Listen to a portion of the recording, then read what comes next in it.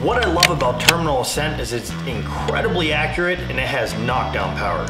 It is exactly as advertised. I have had an incredible run as we've shot this bullet. It's been a complete game changer. As we shot buffalo last year on our buffalo ranch with clients, knocking them down one after another, it's hard to find a bullet that will perform to the level in which you want the accuracy at long range and the knockdown power.